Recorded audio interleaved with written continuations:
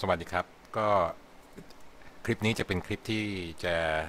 แนะนำนะครับ วิธีการที่จะเราจะใช้ 1 2 3ดีไซน์เ s เนี่ยในการที่จะสร้างวัตถุนะครับ หรือเริ่มต้นด้วยเบสิกนะครับพื้นฐานนะครับ เรื่องของการนำวัตถุต่างๆนะครับ เรื่องของการเคลื่อนเคลื่อนวัตถุต่างๆ ที่จะปรากฏขึ้นมาบนตัว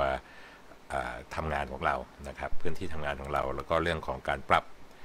ขนาดต่างๆของวัตถุนะครับและรวมไปถึงเรื่องของสเกลสเกลนี่ก็หมายถึงเรื่องของการขยายขนาดของวัตถุนะครับ ก็หน้าตาของเจ้าตัวนี้ก็เป็นอย่างนี้นะฮะนี่เราก็คงผ่านจุดของที่เป็นแนะนำหน้าตามาแล้ว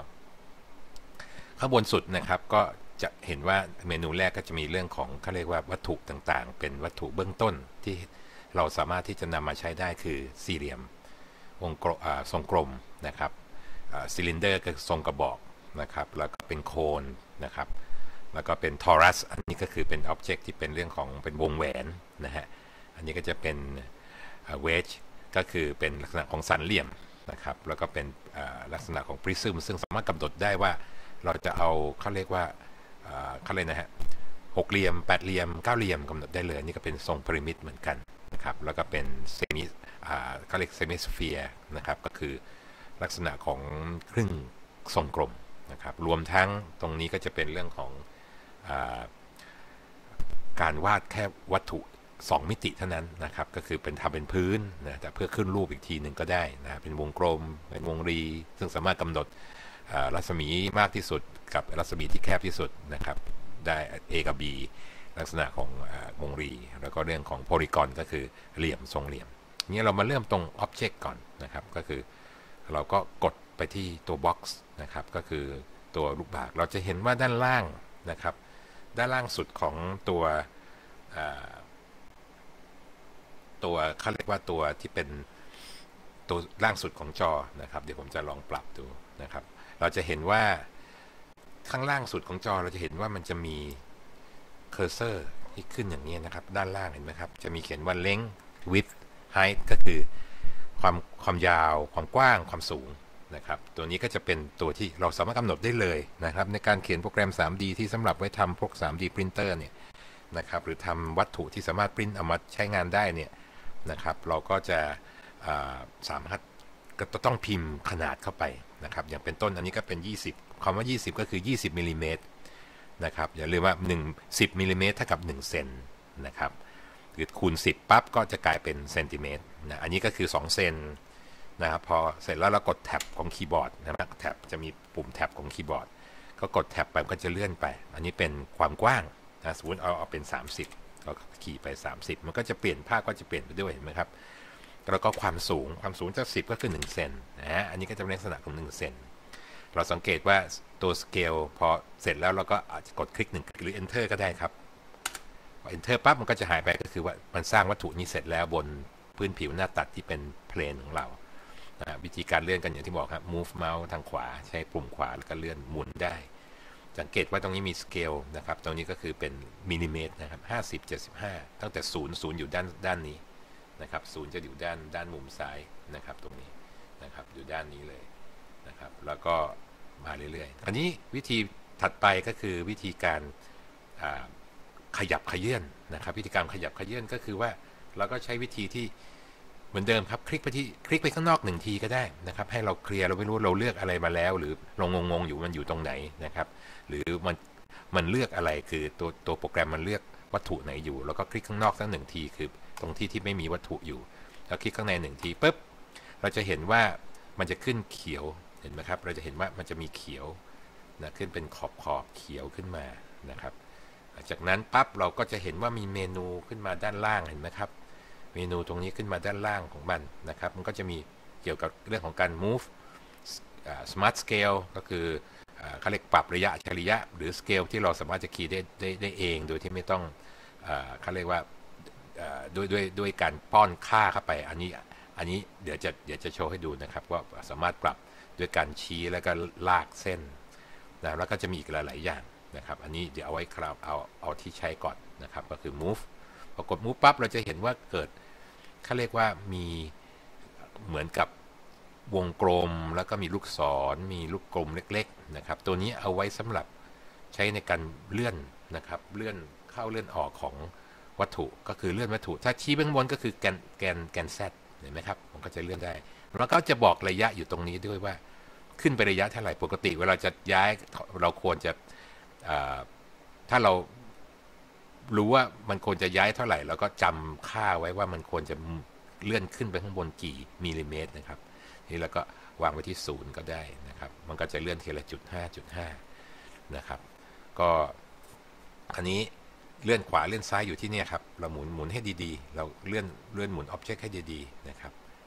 นะครับ ปกติเราก็ใช้เมาส์กันนะครับ เมาส์จะใช้ดีที่สุด จะใช้ดีแต่ถ้าใช้พวกแท็กเขาเรียกเมาส์แพดมันก็จะยากหน่อย นะครับถ้าใช้เมาส์ก็จะดีนะครับนี่ก็คือเลื่อนไปด้านซ้ายด้านขวา หรือเวลาจะกรอกลงไปก็คลิกไปที่ทิศทางที่เราจะต้องการให้มันไปก่อนนะครับ แล้วก็ป้ายมันแล้วก็เขียนอย่างวุฒติดลบก็คือ ถ้าลบ 10 ก็คือไปทางอีกด้านหนึ่งของทิศทางที่ลูกศรไป ถ้า 10 ก็คือไปทางด้านขวาก็คือไปทางต้านตามลูกศรเห็นไหมครับ แต่ถ้ารู้สึกว่าไม่เอางงงนะครับ หรือว่าไม่เอาถอน คำสั่งนี้ไม่อยากจะเอาก็กด escape esc อยู่มุมบุนมุมซ้ายของคีย์บอร์ดนะครับ มุมซ้าย เห็นไหมครับ มันก็จะกลับไปฐานะเดิมของมันก็คือกลับไปไม่ไม่มีการเปลี่ยนแปลงใดๆนะครับ คราวนี้ถัดไปจากนี้ก็คือตัวกี้ move ได้แล้วนะครับ move เราสามารถจะหมุนก็ได้หมุนก็คือตัวกลมนี้เองนะครับ อันนี้เราเลื่อนถูกไหมครับ อันนี้คือเลื่อนแกน z แกน x แกน y อยู่นี้เราจะหมุนให้ดีเราจะเห็นเห็นทิศทางของมันนะครับ แล้วก็ตรงนี้ก็คือการหมุนในแนวแกน z แบบนี้เห็นไหมครับ หมุนไปกี่หมุนไปกี่องศามันจะขึ้นเป็นดีกรีนะครับนะครับถ้าเราจะให้เป็นศูนย์แล้วก็ปาดป้ายแล้วก็ให้ศูนย์ซะถ้าเราพลาดมันก็จะกลับตัวนี้นะครับ แล้วถ้าอันนี้ถ้าเกิดเราจะหมุนแค่แกน y ตรงนี้หมุนแค่แกนนี้นะครับ แกนราบ ก็หมุนได้ครับ ชี้ไปที่วงกลมแล้วเลื่อนนะครับ แล้วก็ปาปาดป้ายไปศูนย์เป็น9เป็น 45 องศาเนี่ยครับ มันก็เอียงแล้วก็ถ้า confirm หรือว่าเอาละก็กด enter เรียบร้อยนะครับ อันนี้ก็จะเป็นตัวลักษณะของการ move นะครับ หรือการ rotate นะครับ เสร็จแล้วก็จะมีเรื่องของการปรับเปลี่ยนเขาเรียกอะไรนะครับขนาดนะครับ การปรับเปลี่ยนการปรับเปลี่ยนขนาดเนี่ยก็ไม่ได้ยากอะไรครับ คือมันจะมีลักษณะของตัวตรงนี้พอเราคลิกไป Object นะครับอย่างที่บอกคลิก Object ปั๊บแล้วก็มันจะขึ้นเมนูมาให้สำหรับ Object นี้ กด Smart Scale นะครับ มันก็จะมีให้เราเห็นว่า Scale ตรงนี้เราสามารถจะปรับนะเห็นจะเราจะเห็นว่ามันเป็นเม็ดเม็ดนะครับ ขึ้นมารอบนะครับ ขึ้นมารอบกรอบของของตัว Object นั้น เราสามารถจะกดขยายยืดได้นะครับ มันก็จะบอกทิศทางว่า มันก็จะบอกเป็นระยะขึ้นมาครับกี่มิลกี่มิลแต่ทั้งนี้ทั้งนั้นนะครับก็เราควรจะ อยู่ในทรงที่ไม่ต้องยังไม่บิดยังไม่ยังไม่หมุนยังไม่อะไรก่อนแล้วถึงไปปรับมันนะครับเพราะฉะนั้นอันนี้มันผิดด้วยผมก็กด escape นะครับแล้วผมก็ undo มันก็คือ control z undo กลับมาที่เดิมนะครับ กลับมาที่เดิม ให้มันให้มันหมุนกลับไปที่เดิมที่เราทำไปเมื่อกี้เนี่ยนะครับนะครับ เพ ราะว่ามันจะมันจะผิดเพี้ยนไปเลยนะครับ เพราะจะทำให้ดึงอ่าอย่างเงี้ยแล้วก็กด smart scale ได้ครับนะครับแล้วเนี่ยมันจะบอกระยะเต็มที่เห็นไหมแล้วมันบอกระยะให้เองเห็นไหมครับ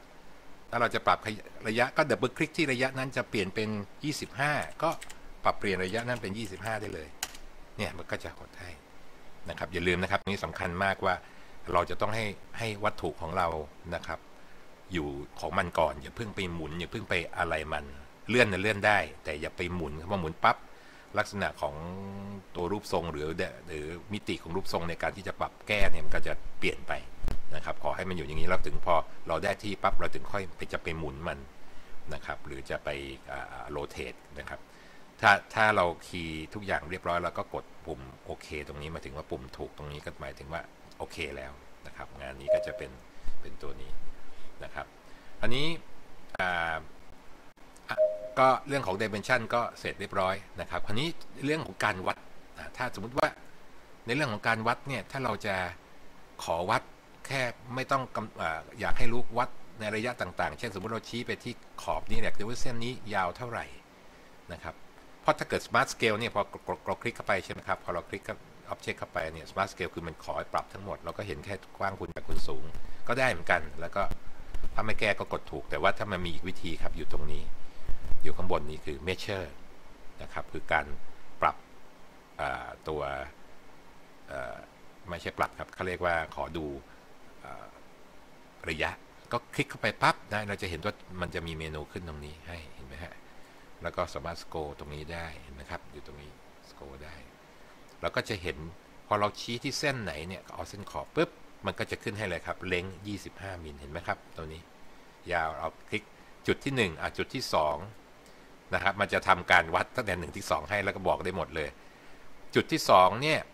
เลงที่เลงของเบอร์2เนี่ยก็คือ 20มิลลิเมตรเลงเบอร์1นะครับ คราวนี้ก็มันก็จะมีอยู่มันวัดได้แค่ 2 จุดนะครับ พอกดกดกลับไปใหม่ก็จะได้แค่ 2 เท่านั้นนะจะไม่มี 3 เพราะมันวัดการวัดระยะก็คือจาก 2 จุดด้วยกันนะครับ แต่ถ้าอยากจะเคลียร์ก็กดตรงนี้ครับเคลียร์อ่าเคลียร์ปั๊บเราขอวัดใหม่ นะครับวัดตรงนี้เคลียร์นะครับการเคลียร์นี่ไม่ได้หมายถึงว่าเคลียร์ภาพนะแค่แค่ให้มันหายไปแล้วเริ่มต้นใหม่คือเริ่มต้นวัดระยะที่จุดที่ 1 ใหม่นะครับอันนี้ก็จะเป็นจุดแล้วลองหาวิธีลองเล่นดูครับว่าาจากนี้ถึงนี้ถึงไหน แล้วก็มันบอกมุมด้วยว่ามุมที่ใช้ทำกันระหว่าง 1 กับ 2 เป็นยังไง บอกให้ด้วยนะครับ อันนี้ก็คลิปนี้ก็สั้น ๆ แค่นี้ก่อนนะครับ